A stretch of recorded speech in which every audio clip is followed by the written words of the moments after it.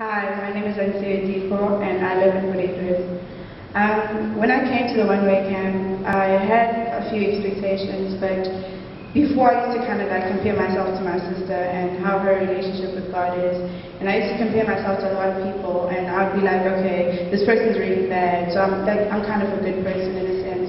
But then I realized that I'm not that good of a person and I'm not really deserving of God's grace and everything. And then just kind of helped me build my own intimate relationship. Because like before, I don't know, I used to be like seriously scared and stuff, but then God just kind of gave me like a sense of peace. Like yesterday when we were receiving the Holy Spirit, I just had this like huge sense of peace, and I'm just so grateful for it because it just kind of helped me to realize that I need to have my own intimate relationship with God, and I just received it yesterday. And especially when we were doing the whole worship, writing our own worship song, and then I just kind of just put out everything that was in my heart, and it just kind of helped me to realize how much God loves me and how much, like His plans for me, and how He's always like there waiting for me. Even though sometimes I turn my back on Him, He was just always there waiting for me, just waiting for that moment that He'd have with me to have that intimate relationship.